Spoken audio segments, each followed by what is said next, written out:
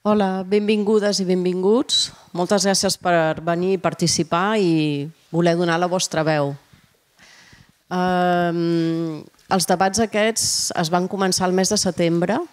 Sí? La, aquest any la, la sisena convenció, com que per mig hem tingut la pandèmia, han decidit fer fer-ho diferent. No?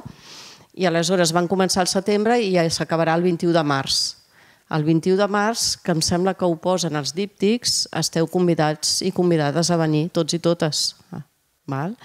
I allà es reuniran, bueno, serà com un, una gran reunió on es farà sentir la veu de les persones grans i podreu dir la vostra. Ara el que estem fent a nivell de tota la ciutat de Barcelona es fan aquest tipus de, de sessions, debat, participació, es fan a tots els districtes. I aleshores aquí ens han ofert aquest espai perquè pugueu venir i podem fer la dinàmica. La idea ara, jo us presentaré una mica el que és la cinzena convenció, molt breument, i després passarem a la part important. La part important és que vosaltres podeu dir la vostra entorn de dues preguntes que són aquestes, ho farem en grups més petits perquè sou un grup nombrós. Ens ubicarem en tres grups de treball. Sí? Us explicaré com funciona la dinàmica. És molt senzilla. I les, les dues grans preguntes que ens agradaria que avui diguéssiu el que penseu o el que us preocupa seria quines són les principals qüestions que em preocupen i la segona seria quines són les principals qüestions sobre les que vull saber més. Sí? S'entén, no, la idea? Val. Doncs eh, tinc una pregunta.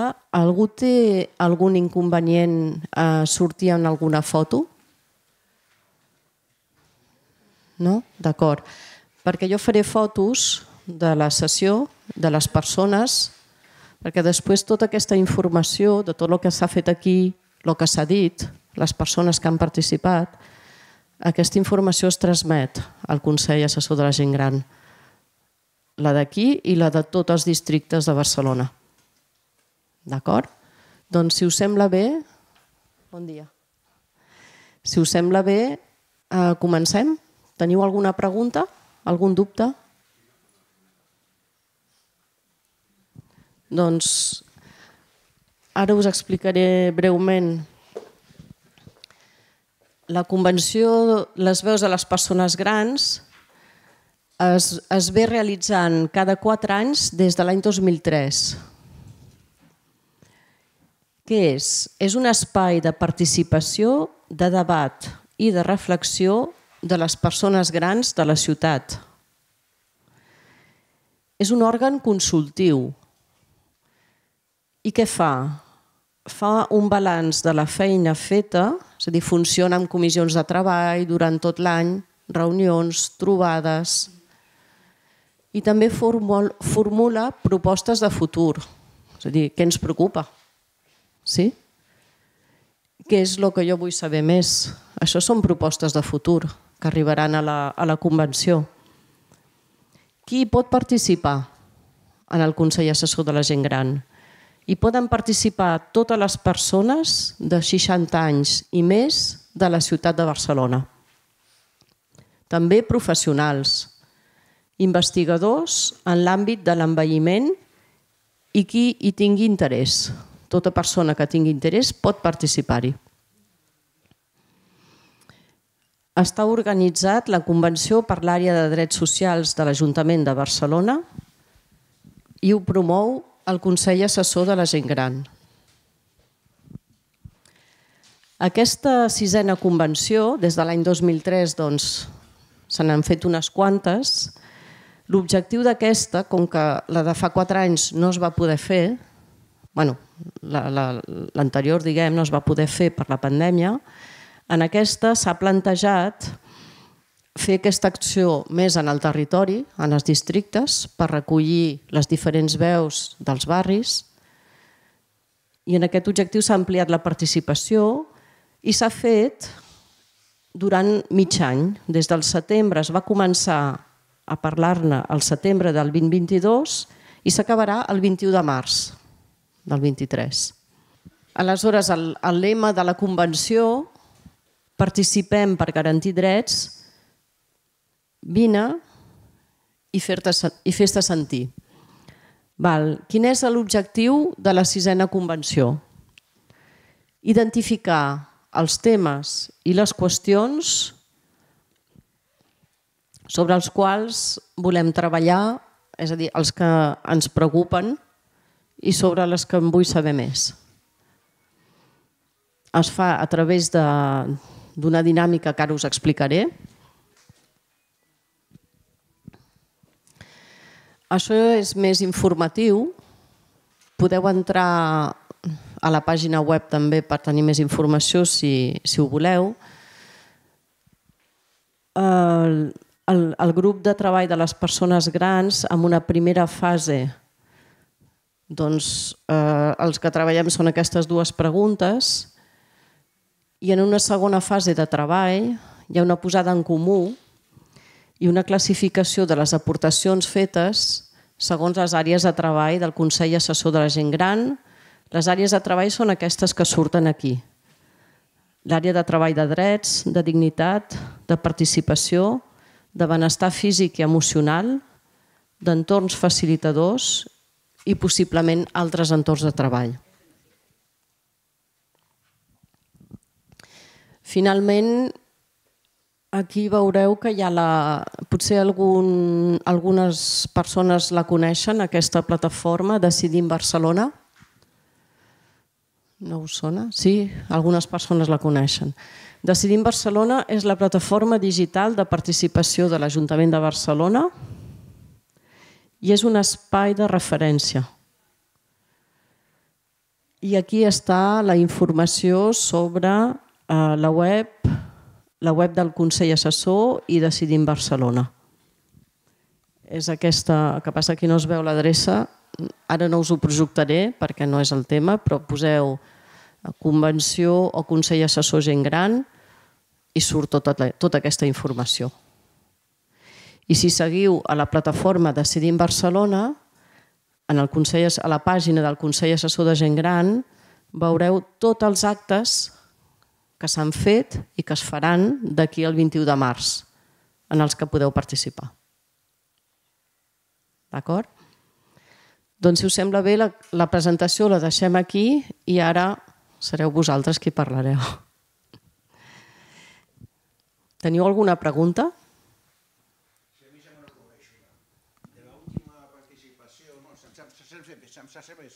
Bueno, per la gravació necessiteu? Sí, ho necessitem per la gravació. De l'última participació, o sigui, l'última vegada que es va fer aquesta plataforma, no la plataforma, sinó la trobada de la gent gran, allí a darrere de la Diagonal, es van arribar a unes conclusions.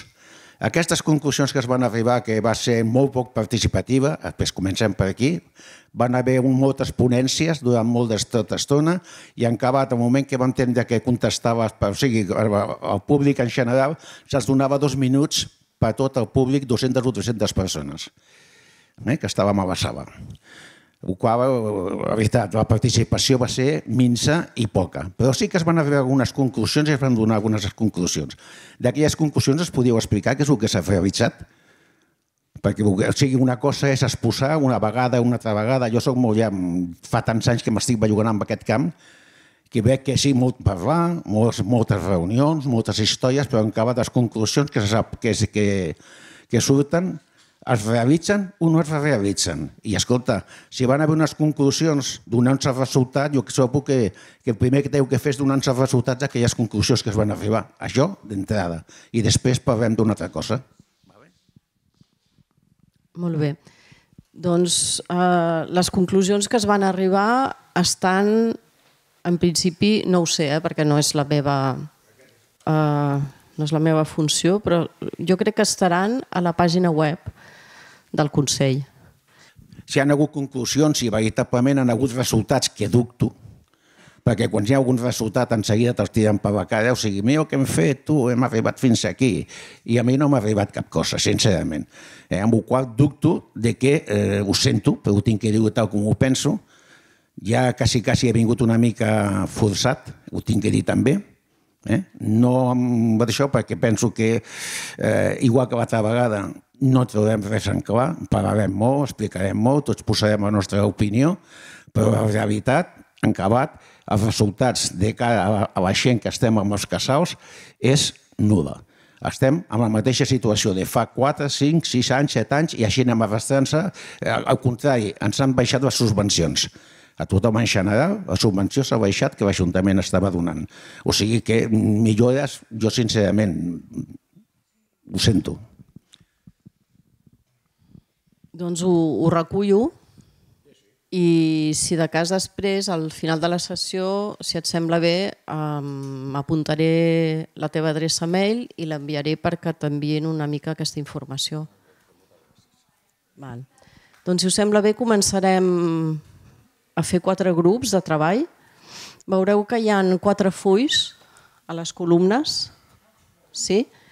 Aleshores us demanaré que us ubiquéssiu amb, amb grups, és a dir, ara mourem les cadires per ubicar-nos aquí en semicercle, és a dir, d'aquesta manera. Grups de, crec que sou uh, 30 persones, em sembla que m'ha dit la Bet, sí? Doncs grups de, de 7-8 persones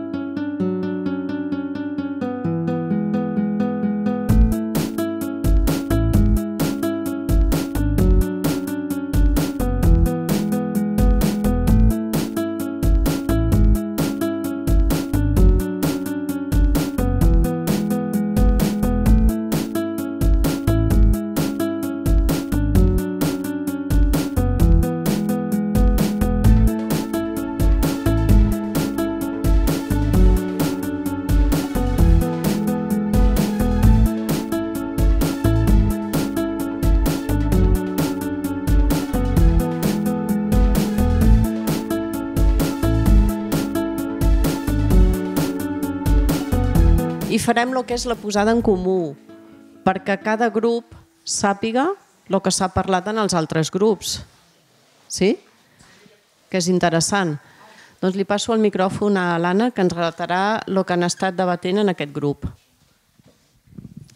Eh, buenos días, mi nombre es Ana y soy de aquí del barrio.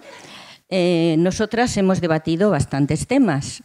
Eh, tengo aquí mi colaboradora Carmen que me ayudará. En principio, mejorar la ley de la dependencia y agilizar los trámites que como todos creo que en esto estamos de acuerdo, los trámites de la ley de la dependencia son muy lentos y para las personas mayores como yo, que vivimos solos, llegado el momento en que necesitamos que nos ayuden, solamente los trámites ya lo lentos que son, mi pregunta ha sido, si yo me pongo enferma, tengo un problema y estos trámites son tan lentos, ¿quién me asiste durante todo ese tiempo? Porque yo vivo sola. Entonces quiero que esto se mire y se agilice. Esto sería un tema. Agil, el otro tema, agilizar la tardanza. Siete, ocho meses para que te valoren, que bueno, está ya dentro de lo que digo. Esto es interesante, creo que hay que mirarlo. Eh, ¿Cuál era el otro? Esto, vamos aquí. Vale. La tecnología, una barrera para todos nosotros.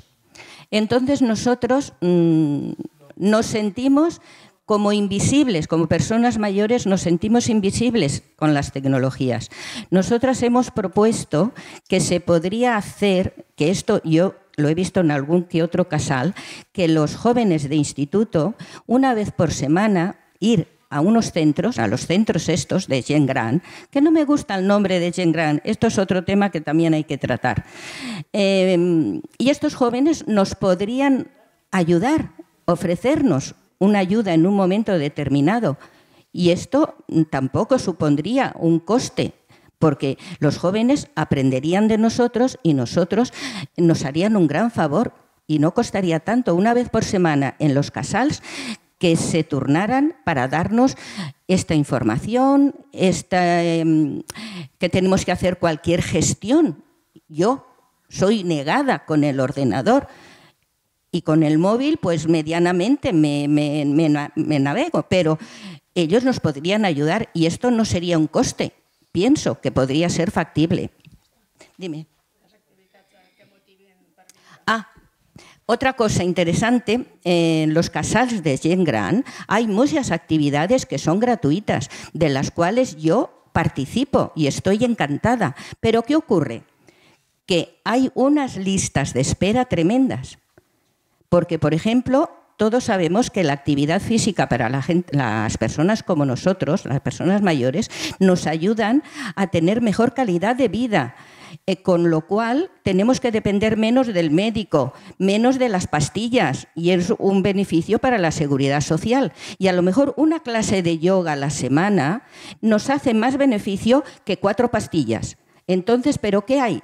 Que los centros cívicos, este, los centros sociales de la Gen Gran eh, no tienen recursos para duplicar estas clases. Entonces pedimos más recursos para los centros y que puedan facilitarnos esas actividades que nos ayuden a tener una mejor calidad de vida, porque no todo es ir al médico y que te dé una pastilla y ala, para tu casa. A veces nos facilita más un bienestar social a nosotros el conectar con otras personas de nuestra edad, hacer actividades, pero para eso los casales también tienen que tener em, más, más les tienen que dar más presupuesto entonces esto es muy interesante y yo veo que es mejor ir a hacer una clase de yoga, gimnasia adecuada para nuestra edad, una caminada, cualquier cosa, más que tener que ir cada mes o cada semana al médico a quejarte de todos los problemas que tienes. Esto sería una cosa que creo que es interesante. Dime. No, esto... No, no, yo no. Ah, sí, ah. bueno, pero el otro. Bueno, tengo una secretaria que me apunta solamente, pero lo hace muy bien. Bueno, otra cosa que es muy interesante también es que antes de la pandemia, yo hablo por mí, por mi referencia. Yo tenía un trato con mi doctora excelente y con el enfermero. Cada seis meses me llamaba, me hacía analítica, me comprobaba cómo estaba. Si estaba bien, me decía, pues Ana, sigue adelante, que estás bien. Que tenía algún problema, entonces ya me derivaba la doctora. Eso se ha roto. ¿Qué ocurre? que ahora al cabo de tres o cuatro años he pedido que me hagan una analítica. La analítica me la han hecho hace dos meses, aún no me han dado el resultado. Bueno, sí, me llamó ayer el enfermero, para decirme el resultado. Entonces yo quiero que este vínculo que había entre médico de cabecera y paciente se restablezca. ¿Para eso qué hace falta? Pues que pongan más médicos. Caray, que bueno, para otras cosas sí que hay dinero, pero para la cultura, para la sanidad y todo eso cada vez se recorta más. Ahí estoy yo un poco, en fin, menos bien. Hola, buenos días, soy Consuelo, Consol. Eh, yo estos días he asistido a unas sesiones en el Casal donde han venido una psicóloga y un nutricionista que dicen que han puesto en marcha en todos los casals ah, y en todos los CAPS, perdón, y que bueno que quieren evitar que las personas pues tomen más medicación, eh, dejar que los médicos de cabecera pues no tengan tanto agobio y es un nuevo mm, servicio que han puesto en marcha para todas las personas. Lo digo porque yo lo he conocido a través del casal. Vosotros preguntar en los CAPS si alguien está interesado yo os puedo decir que a día de hoy ya he conseguido visita con la nutricionista que he llevado toda la pandemia sin poderme sin poder visitarme. Vale, simplemente que lo tengáis como información. Vale. Psicóloga, sí. Es que en el fondo va unido, ¿eh? A veces una cosa va unida con la otra, ¿eh? Vale, creo que es el último tema, ¿no, Carmen? Eh, otro problema también que nos afecta a las personas mayores, las personas mayores que viven de alquiler, ahora ha salido una moda que los fondos buitre se quedan en estos pisos y a estas personas las echan o les suben el alquiler, pues una barbaridad y no pueden pagarlo. Entonces se tendría que mirar también y se tendrían que hacer gestiones para que las personas mayores que viven de alquiler, estos pisos no puedan ser vendidos a estos fondos buitre y si los venden, pues que hubiera una ley que no les permita subir estos abusos. Esto es un tema que creo que también es muy interesante y creo que, Carmen, por esta parte, era esto, ¿verdad? Sí. Bueno, no, toma, eso, eso, eso te correspondía, sí. que lo conoces. Jo, jo he fet la pregunta perquè vull saber com està el tema de les, de les treballadores familiars en les illes, eh, que van dir, o sigui, l'Ajuntament va fer aquest projecte que era molt bo, però no sé si està funcionant. O sigui, jo el que vull saber és si funciona. Treballadores familiars, juntament amb els CAPs, eh, metges, infermeres i, i treballadors socials, i vull saber si funcionen o no funcionen perquè m'ha vingut eh, d'això de que no funcionen gaire bé. Moltes gràcies. Um, passem al grup d'aquí, de la dreta. Hola, buen día. Eh, me llamo Alberto y me va a ayudar también Susana en resumir lo que hemos discutido en nuestro grupo. Eh, bueno, hay un tema común que se me oye bien. ¿Eh? Ahora, sí, sí, perdón.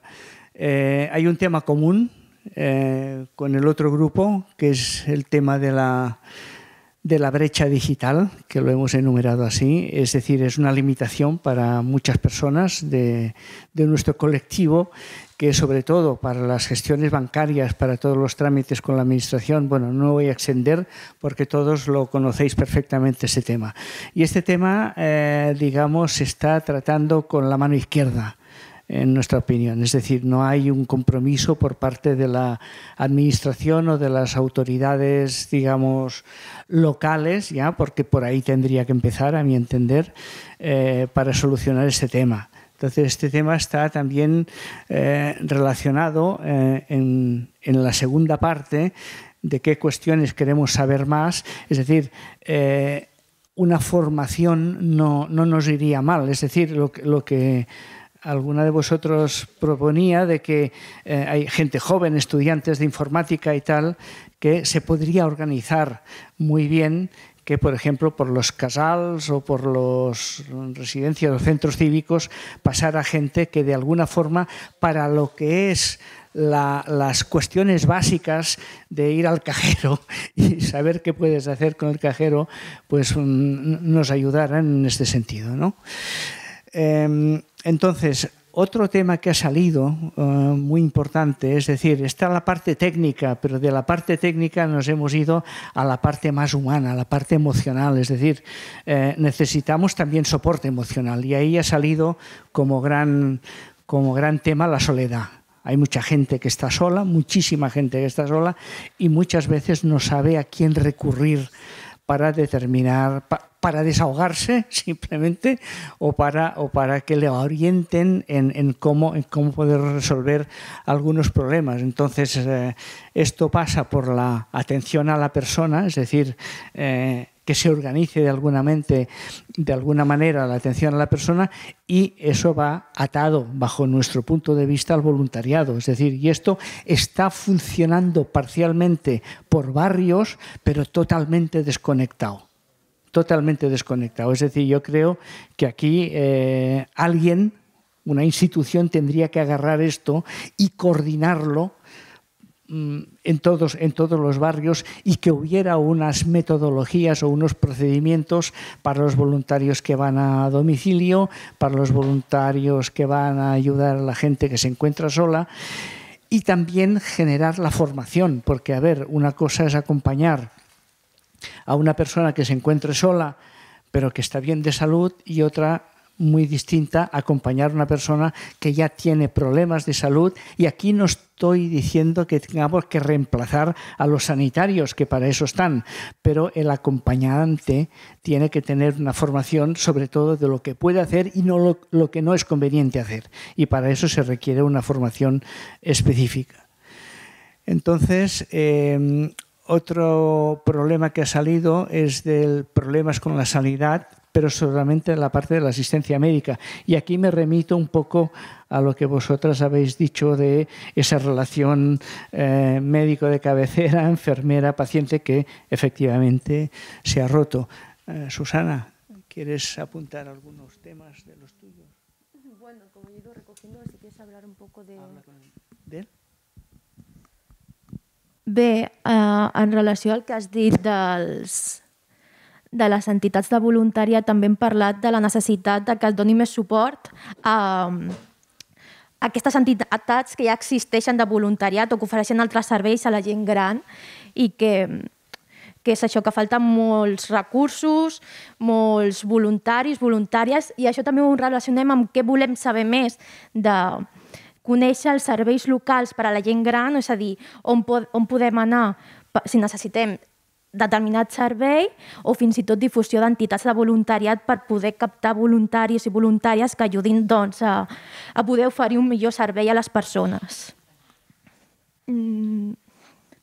Bueno, també hem parlat de que les persones grans tenen dret a ser assistides, o sigui, és una etapa en la que hi ha moltes pèrdues a nivell personal, a nivell familiar, social, i seria important doncs, reivindicar aquest dret a ser assistides. Alhora també hi ha una pèrdua important de poder adquisitiu, de la qual també hem parlat una mica per sobre, i també hem comentat per sobre la, sobre la discriminació per el tema d'edat, el que anomenem edadisme. I no sé si...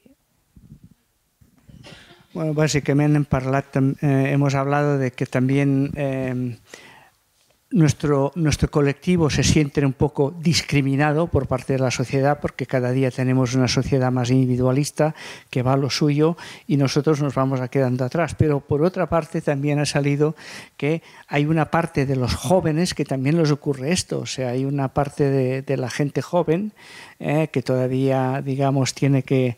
Eh, mucho terreno por avanzar en la sociedad que también se sienten de alguna forma no acompañados en sus necesidades, pues por ejemplo de vivienda, eh, de pisos sociales y todo esto, que también es una realidad eh, que tienen hoy en día. Es decir, yo mm, entonces lo, la conclusión en general es que eh, las autoridades locales que conocen esa, esa problemática deberían de intentar por lo menos establecer puentes entre todos estos colectivos y no dejar que sean los fondos buitres los que ganan la batalla, ¿no? sino que es un tema social, no es un tema es una consecuencia del capitalismo. Por aquí también ha sido ha salido que el modelo capitalista pues eh, pues fomenta la productividad y nosotros ya no somos productivos, por lo tanto a sentarnos en la silla y esperar a ver lo que pasa. Pues no.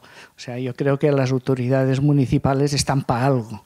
Y si están para algo es para realmente tender puentes entre todos los colectivos que realmente necesitamos eh, soporte, necesitamos ayuda. y ya únicamente un punto para rematar, el tema que ya ha anunciado Susana, es el tema del voluntariado. Aquí somos varios voluntarios y de varias eh, instituciones que hacen esa labor social. Esto está totalmente descoordinado, ya lo he dicho antes. Entonces, faltaría aquí que pusieran orden y se propusieran programas públicos para captar a los voluntarios. Uno de los problemas que tenemos las asociaciones que trabajamos con voluntariado es que no encontramos voluntarios. Cuesta. Cuesta ya encontrarlos y luego formarlos formarlos porque, como ya he mencionado antes, eh, en ciertos casos el voluntario no solamente, o sea, se puede ir de buena fe y con un gran corazón, pero eso a veces no soluciona el problema. que tiene la persona que está siendo acompañada porque tiene problemas de otro nivel. Y finalmente, y abundando también en los servicios locales, la gran, nosotros, por ejemplo, mm, yo represento una asociación que estamos en el barrio de San Martín y hacemos bastante trabajo social pero digamos que eh, lo único que hace la administración es, mira, aquí tienes una subvención, pídela y a ver si se te da.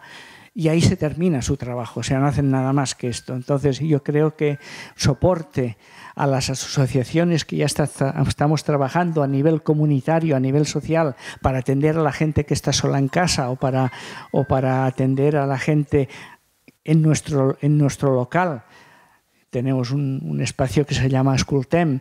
Para la gente que tiene problemas ya sabe que puede venir allá y por lo menos abrirse y nosotros entonces intentamos canalizar la ayuda que necesita esa persona. Todo eso que se potencie, es decir, que no nos pongan tantas trabas y que desde, desde, el, ayuntamiento, desde la, desde la administración local, ayuden no solamente con las subvenciones, sino con, con más recursos. ¿eh? Y esto es lo que... Gracias. No en contra precisamente, pero sí que dicen que se quita el trabajo a otras personas. Entonces el voluntariado tiene que ir con pies de plomo. Por eso también hay, una, hay un mínimo, digamos, de horas para hacer compañía. Después lo de dar a conocer, estamos todos los que nos interesamos comunicados a través de tablets, de vinclas, que cada cosa que quieres, eh, recursos para gente mayor, clicas un botón, eh, salidas culturales, clicas un botón. Me refiero que el estar solos o aislados, un poco de nuestra parte también es. Y el estar solo y no tener recursos, también favorecen tener estudiantes en casa, que la administración paga para que tengas el estudiante en casa. Que somos solos y malavenidos. ¿eh? Que no todo tiene la culpa los demás arriba. Esto y se me queda seguramente algo más que decir. Muchas gracias, estoy de acuerdo, pero yo quería apuntar aquí un matiz que también ha salido en nuestra discusión. Es decir, aquí hay una confusión importante. El voluntario nunca sustituye al profesional, nunca tiene otra tarea. Entonces, ver que el voluntario va a quitar puesto de trabajo, eso es una, eso es una bastiesa, que decimos en catalán. Es una tontería. Por eso hay que intentar, hay que intentar concienciar a la gente, y eso también pasa porque se haga difusión de lo que es el voluntariado, y aquí vuelvo a insistir en que alguien desde arriba lo tiene que organizar y tiene que difundirlo. El voluntario es un servicio gratuito, generalmente, y que no tiene nada que ver con el servicio profesional ni de médicos, ni de enfermeras, ni de psicólogos, ni de físicos ni de nadie. Nosotros precisamente vamos cuando esa persona que necesita ayuda ya la parte técnica la tiene solucionada, pero no la emocional. Y ahí es donde empieza el voluntariado. Nada, más. Gracias. Sí, sí, sí. Gracias. Muchas gracias. Sí. sí quería Perdón, quería matizar solo una cosa sobre el voluntariado. El voluntariado no se concierne solamente en atender a personas mm, que lo necesitan físicamente.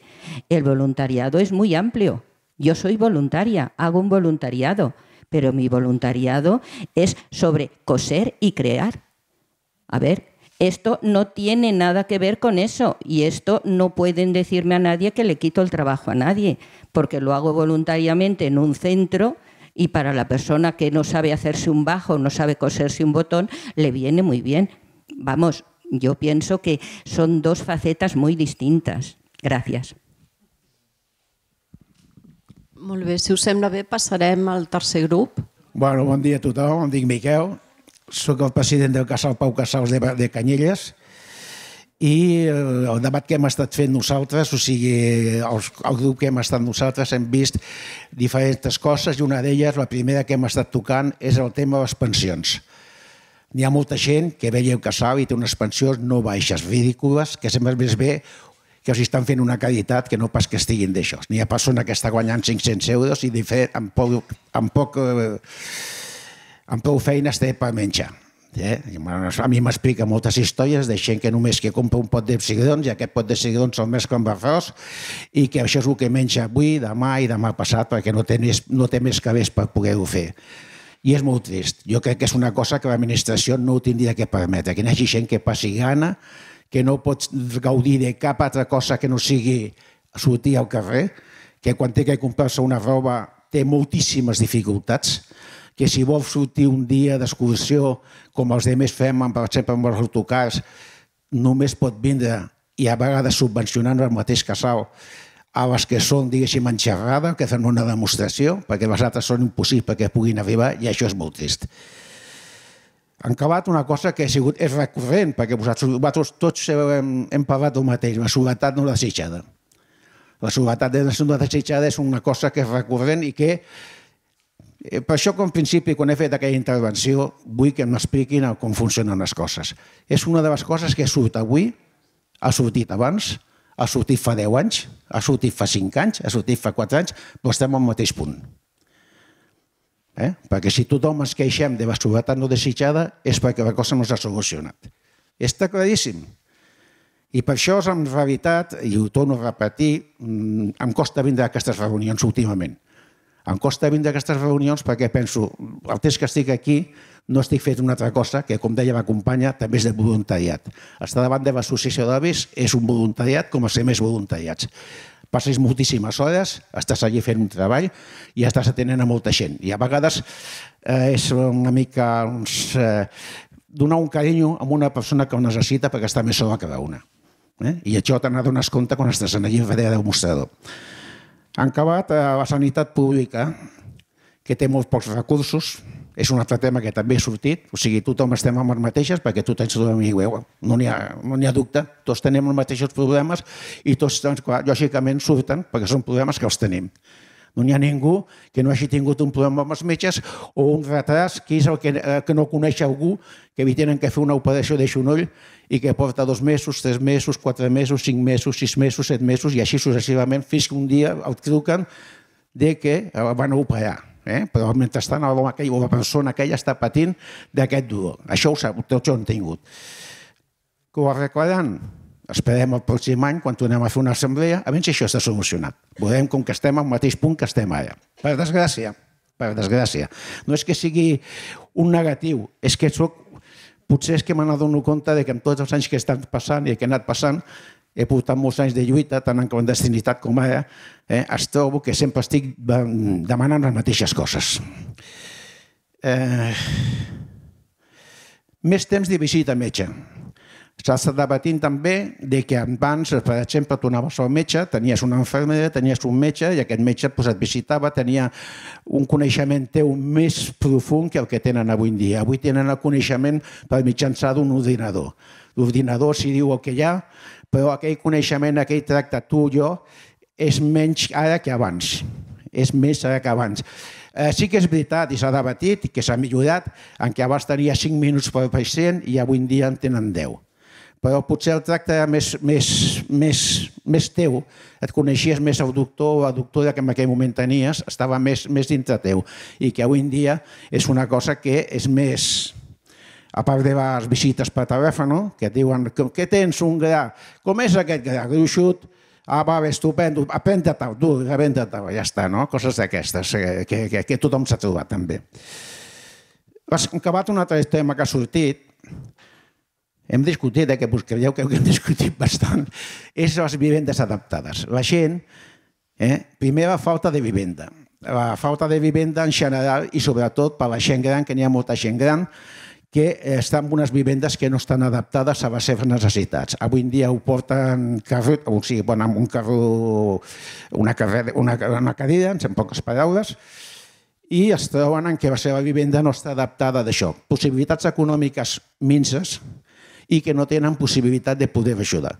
L'administració és una de les coses que pensem o que hem pensat en general, de que és una de les coses que tindria que solucionar o intentar solucionar perquè les, coses, les persones puguin viure els anys que ens queden de vida de la millor manera possible. La conciliació familiar.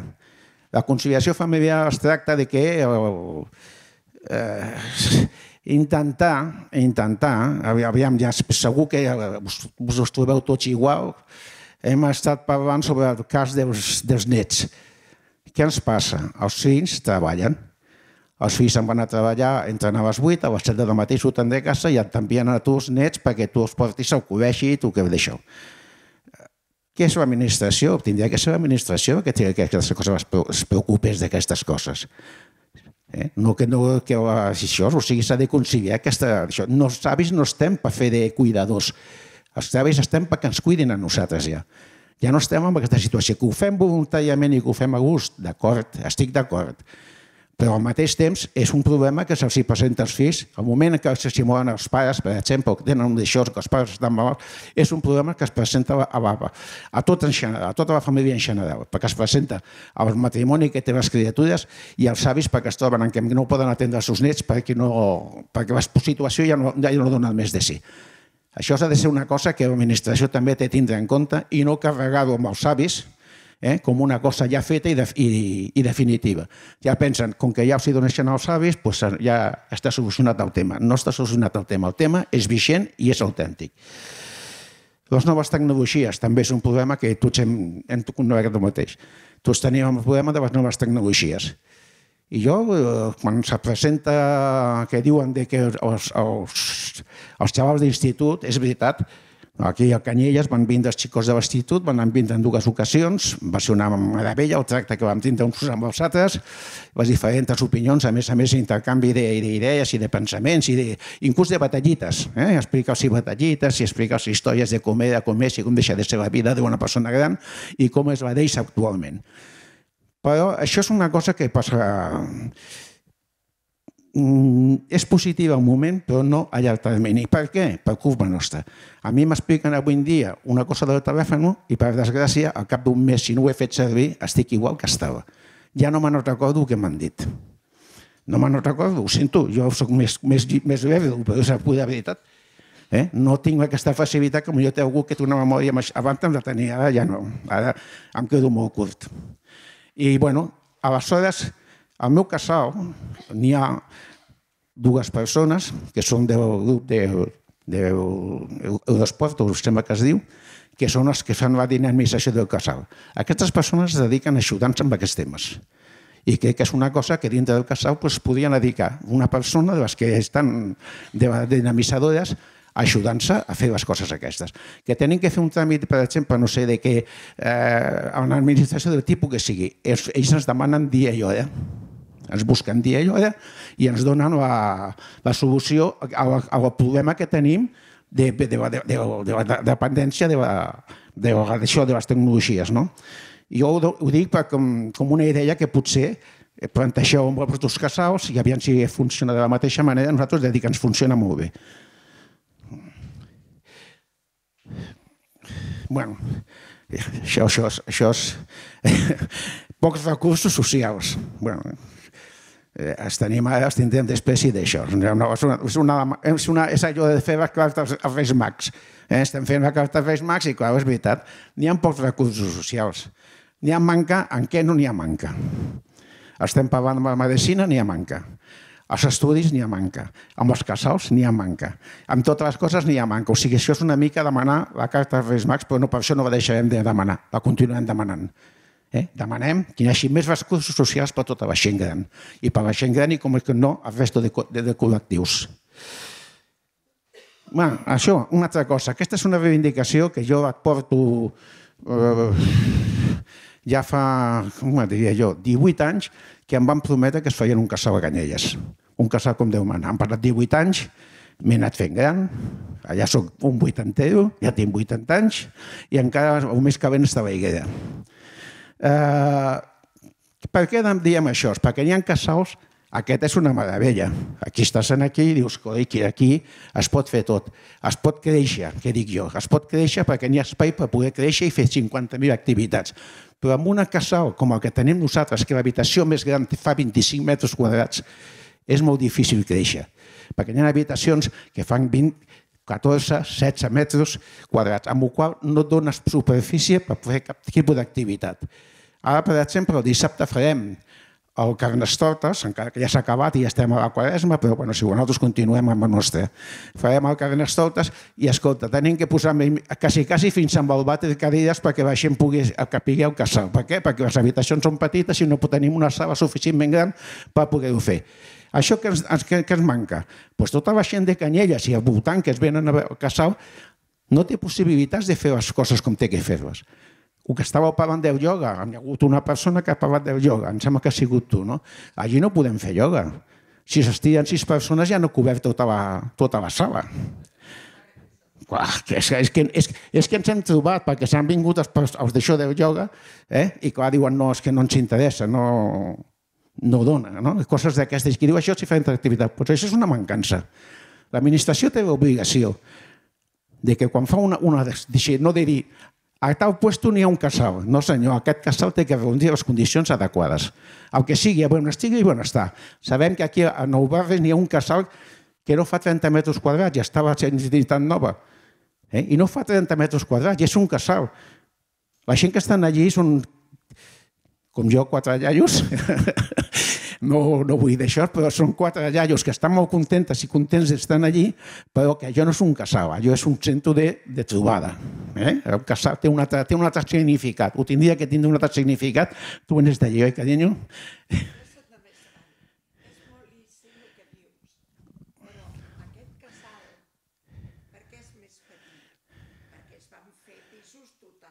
Ja ho sé. No, no, no. Mira, el casal, el casal que, tu, que jo estic parlant i que tu coneixes, no? Vale. Mira, et dic una cosa. Eh, ara ja és per una altra història i serà una cosa personal. Jo sóc vicepresident de l'Associació de Banys de Canyelles. Eh? Soc el vicepresident de l'Associació de Banys de Canyelles. I, I tota la història del casal aquest, el casal, quan es va fundar el casal de Canyelles, es va fundar eh, a l'associació a la, no, a l'associació de veïns de Canyelles a la planta baixa. Era no, ajuntament no.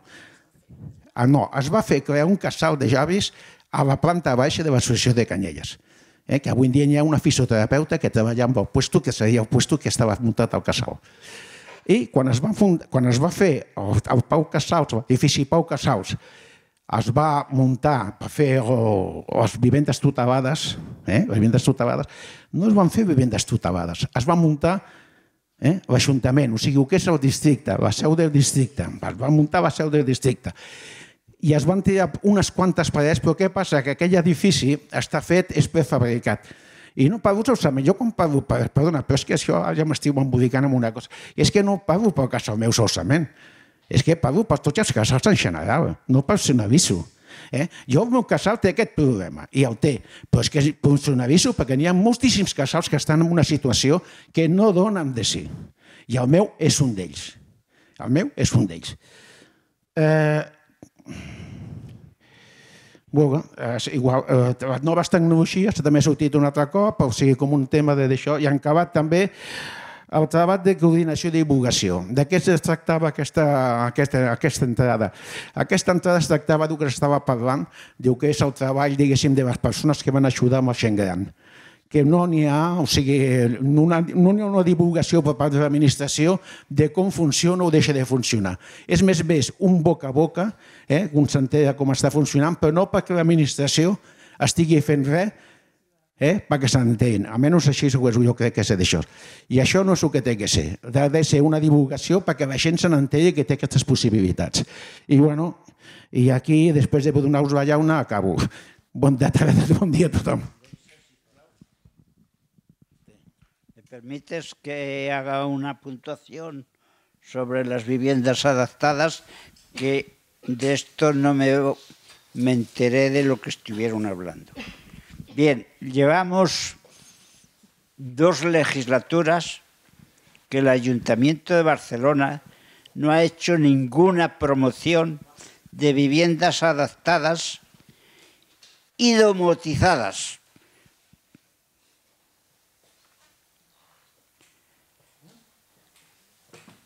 ¿Qué pasa? Que hay personas que por enfermedad o porque hayan tenido un ictus o un derrame, lo que haya sido, o un infarto de miocardio que lo hayan superado, han quedado con las defensas de movilidad reducidas. Bien, estas viviendas, eh, yo estuve aquí arriba cuando se da la vuelta la ronda de Dal en un piso accesible y un poco domotizado. Hay personas que tienen, para andar por su vivienda, necesitan ir agarradas a un pasamanos interiormente en la vivienda. Tanto en la vivienda, en el comedor, la cocina, el dormitorio, el cuarto de baño, etcétera, etcétera. Con muebles, que estos muebles son de cocina, son caros, pero no los ponen por este motivo. Estos muebles suben y bajan con un motor que llevan aplicado al mueble. Esto es para las personas con discapacidad. Yo no, resulta que cuando hacen viviendas de promociones de estas viviendas ponen un mínimo y un máximo. El que no llega al mínimo para atrás. El que se pasa de lo máximo para atrás. Luego, ¿a quién le dan estas viviendas? ¿A sus amiguetes? Aquí no tenía que haber ni mínimo ni máximo. Y el que no llegara al mínimo, cederle la vivienda esa de por vida hasta que se muriera. Y cuando se muriera, pues que pasara a otra persona. Y aquí termino. Muchas gracias. Bueno, doncs tancarem aquí. He recollit totes les vostres aportacions i també he fet fotos dels panells. Aleshores, informar-vos, primer agrair-vos la vostra participació, que ha sigut realment fantàstica i molt participativa, molt interessant.